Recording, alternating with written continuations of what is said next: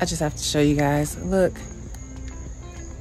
they have an outdoor grill area, fire pit, this outdoor, and this screened in porch besides the rest of the house and this gorgeous lot, home partners property.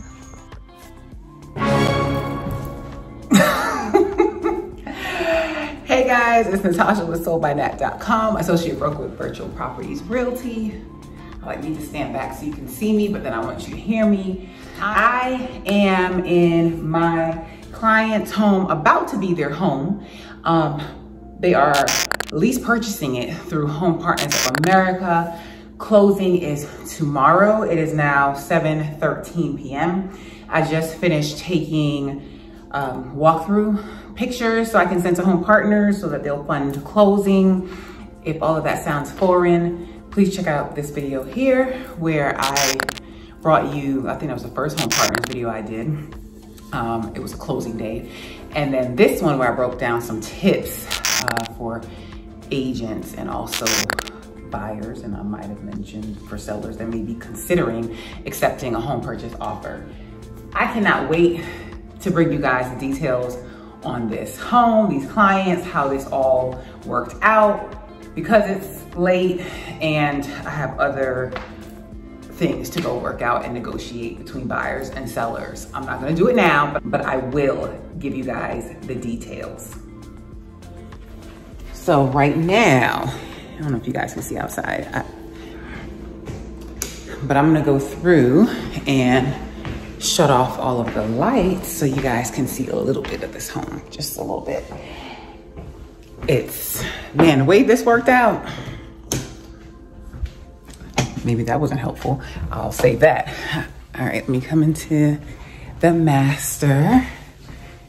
Look how nice this master is. Yeah, they left all of the window treatments. I, I think that's gonna be okay with home partners. I mean, it better be okay with home partners. It, yeah.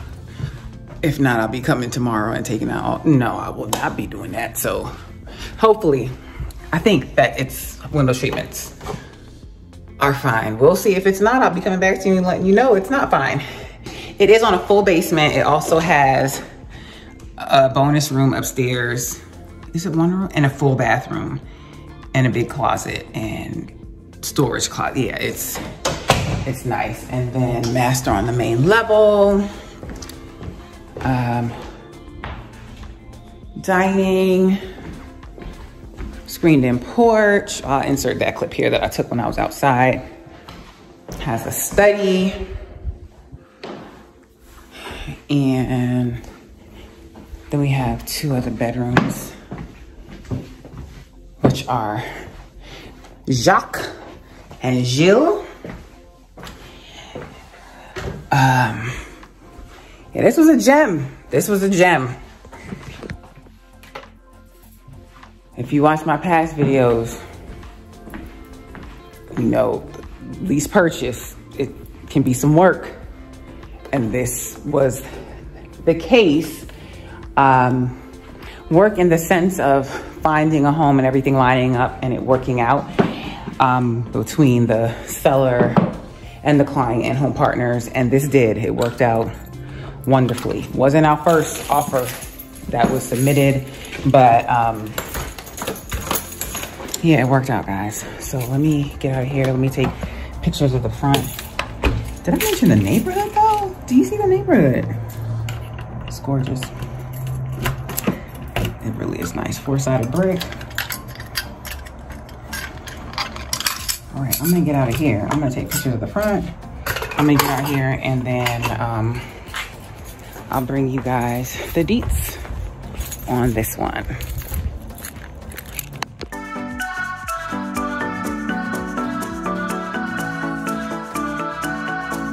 I am back to bring you the Home Partners update. It has actually been a couple weeks now. Let's just rewind. Uh, just a nugget for agents if you're out there and you're thinking about uh, making videos. A tip that I will give you, record it while it's fresh. It's so much easier to get out. Um, so that is my nugget for you.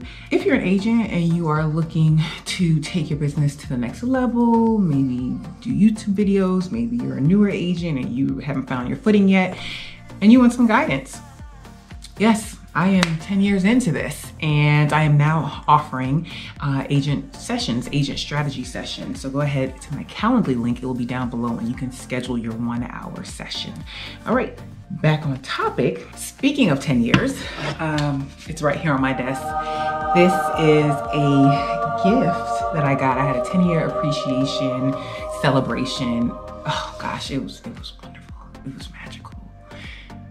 Yeah, I the pictures just brings back memories when I look at them. We just had a great time. But anyway, one of my clients, I got a lot of gifts. I didn't plan, I didn't expect to get a lot of gifts, but I did. And um, this week, uh, one of my neighbors actually made this for me. So this is awesome. So now we'll have different signing, um, sign options, I should say, different sign options at closing. So you'll start to see this one in pictures. All right, I had to make a quick run, but I'm back. And also, uh, have my realtor pin now. I get asked a lot about that. Uh, good news, I have gone ahead and created an Amazon storefront and I have a list for realtors. So you'll find this pin. I have a bracelet that people really like. Uh, I actually have this pin in silver. Uh, I got a different license plate for the you know front of my vehicle. I have that in there. My work bag, which my laptop bag is not here. People ask me about that a lot. I'll probably be putting pictures in here so you'll see it. You can find all of that stuff in my Amazon storefront, plus more. I have several lists. Okay, now really back on topic to uh, just bringing you the details from this Home Partners deal. I'm trying to look at my board to see like when exactly they closed. Please hold.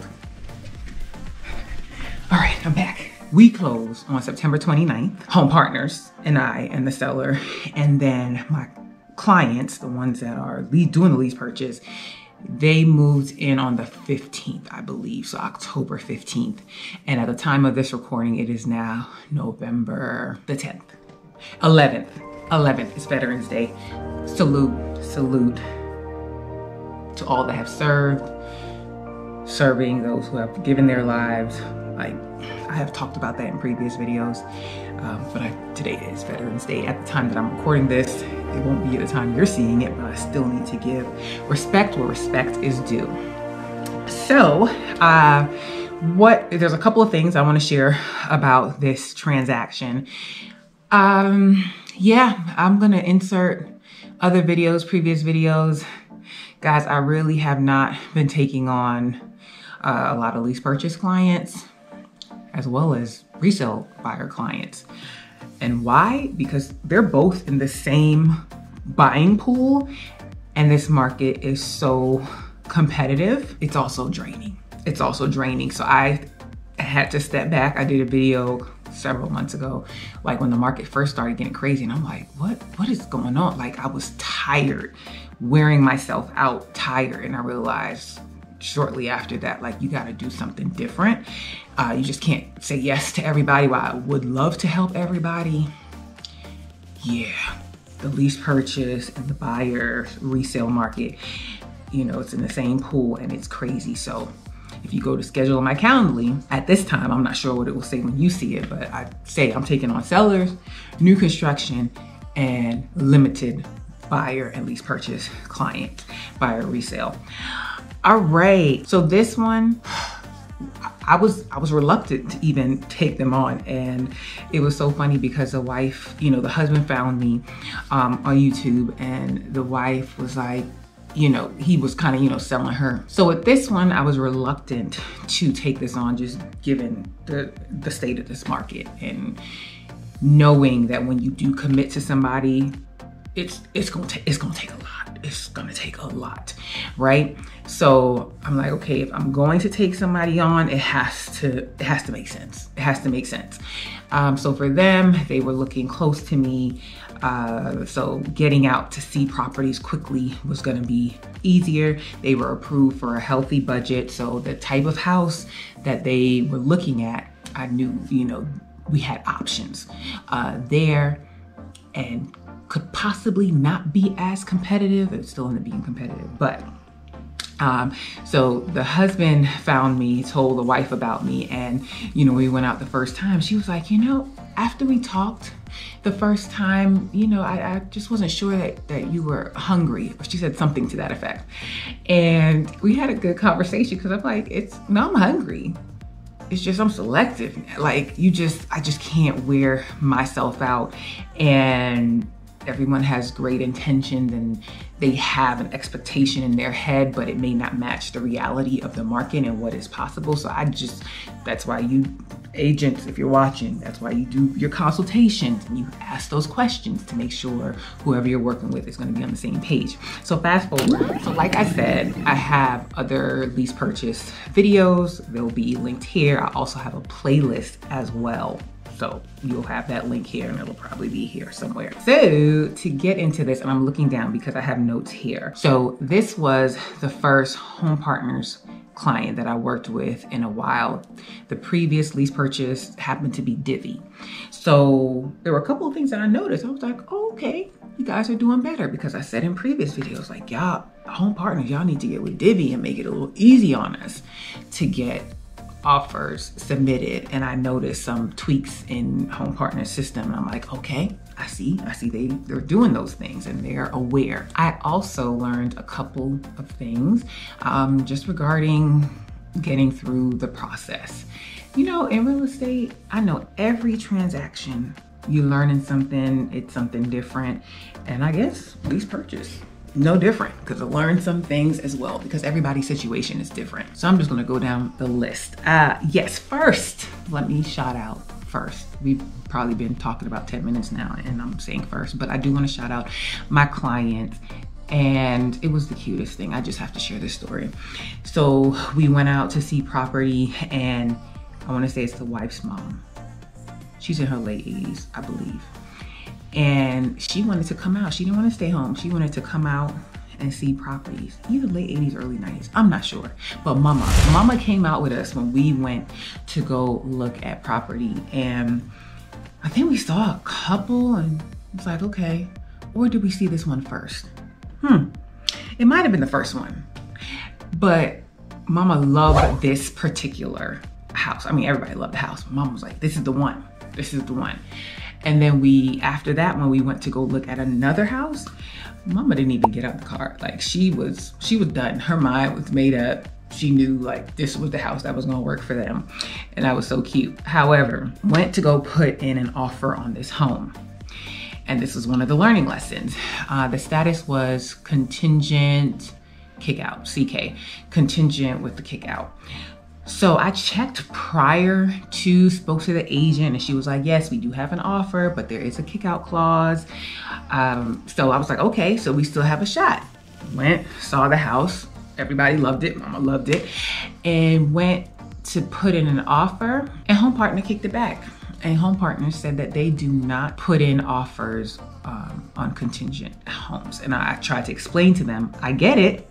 It's not like it's pending or what's the other one? Um, active, pending, or active something. It's it's a new status or newer status that says, hey, we're in the contract, but we'll still allow you to show. It wasn't like that. It was, you know, basically the current buyers had some things that they had to work out and they could be kicked out of the contract. So either way, just sharing home partners does not put in offers um, that are contingent with the kickout clause. So we can went back to the drawing board, continue to look at houses. Several were gone quickly. Several were gone quickly. Um, then at one point they thought about, okay, what if we buy the place that we're currently renting? Um, Home Partners does do that. So just FYI, they do do that.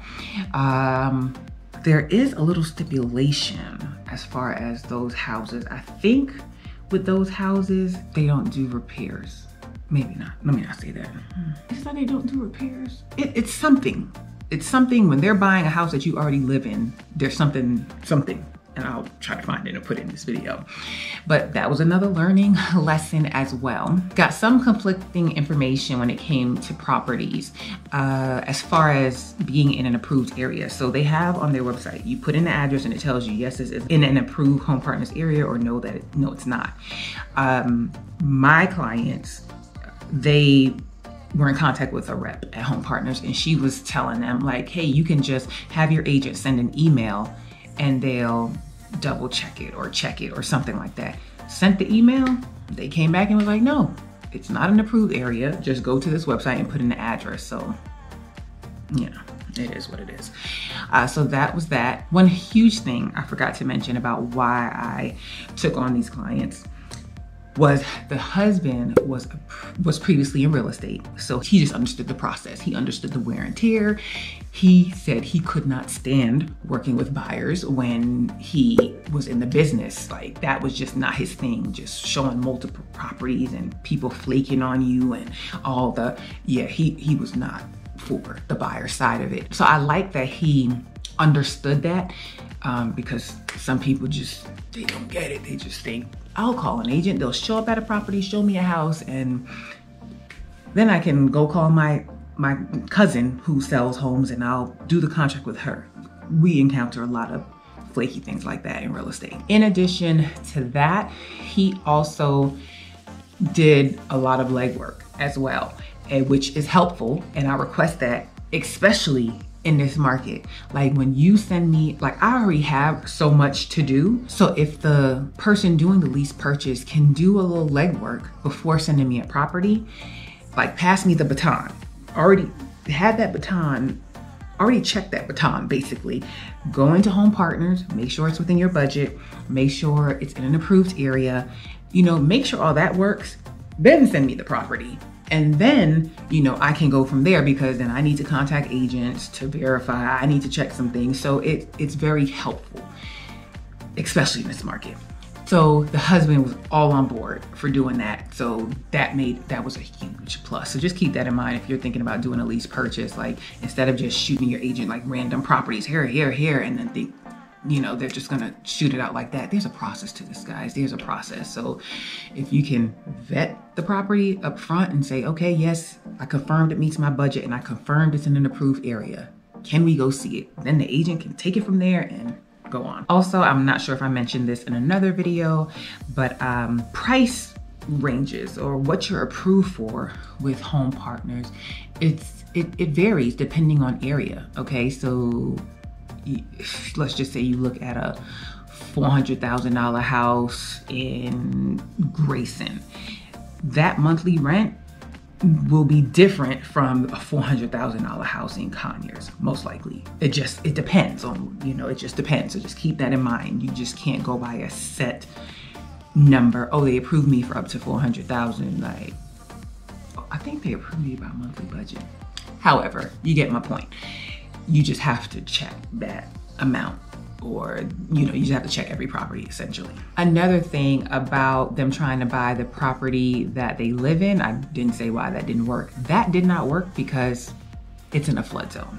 Found out it's in a flood zone and home partners was like we're not going forward. The good thing is we found all of this stuff on the front end. It's not like we got into contract. Yes i still did have to go through the process of putting, you know, everything in the home partner system, but we didn't get far enough to say, okay, here's a contract and then finding it out on the back end. So that is a plus. The last thing with this search um, that I want to share is that I had started um, calling agents prior to and asking them, hey, would your seller be willing and open to receiving uh, a lease purchase you know, offer. And I had started doing that because there was a client that was looking like an hour from me. This was a little while ago, but we would drive an hour, get there, do everything that it takes to basically show the property and go through the whole rigmarole, the process to go get an offer, and then the person not even want to consider a lease purchase. I was like, that is an extreme waste of time of everybody's time. So instead of doing that, let me find out on the front end. And it, it worked in the oh, this was with Divvy, but still lease purchase none the same. It's still lease purchase nonetheless. Uh, my last Divvy, you know, client, I reached out to the agent. He was like, sure, we'd be open to getting a lease purchase offer. With this one, this go round, I found a lot of agents were just shooting it down. Like, no, we're not interested. No, the seller wouldn't be interested because really and truly they should be checking with the seller because they, you know, but anyway, um, they would just say, no, we're not interested, or we have so many offers on the table already. Uh, we have so many over ask, or they would just shoot it down altogether. So yeah, I wanted essentially to hear, yes, we, my seller would be open and willing to consider your offer it came to the point where I was getting an, a, good amount of no's. And I was like, all right, we're going to try something different. I guess we're going to try something different. Um, talked, the husband and I talked and he was like, yeah, don't, don't ask in, in advance because we were getting told no. And I explained why I was asking, but I was like, hey, let's give it a try. Cause at this point, right? Then a Hail Mary came through. Remember the first house that I told you about that mama liked, right? the contract that was contingent, it came back on the market. The agent called me.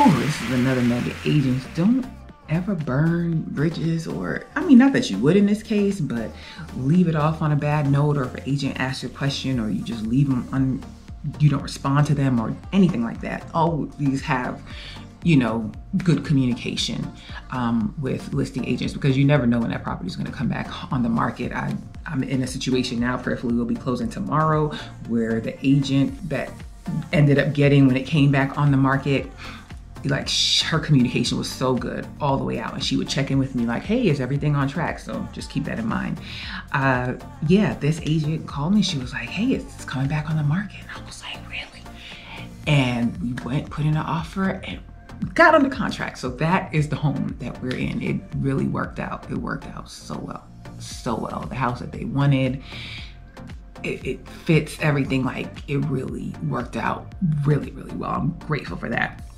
Shout out to the listing agent, um, Danielle. Like, yeah, she was such a pleasure to work with. And FYI, she didn't know anything about home partners. And I've talked about this in other videos where you have to educate them so that they don't shoot it down. That's the other thing. When people would tell me no, I was like, hey, it's a cash offer for your seller. You know, you should consider it. Crickets, didn't hear anything. But with her, you know, I explained it to her. I sent her support for it. She was on board with it. And yeah, we had a pleasure working together. She is a stellar stellar agent and I'm gonna insert a picture of her here. She shared just some nuggets with me. We had a great talk um, we met at the house for me to get the key and stuff like that. Uh, so that's about it. And that, this is gonna conclude this video, guys. I am gonna sign out here. I appreciate you guys for watching. Um, if you have questions, leave them down below. Have a positive, peaceful, and productive day.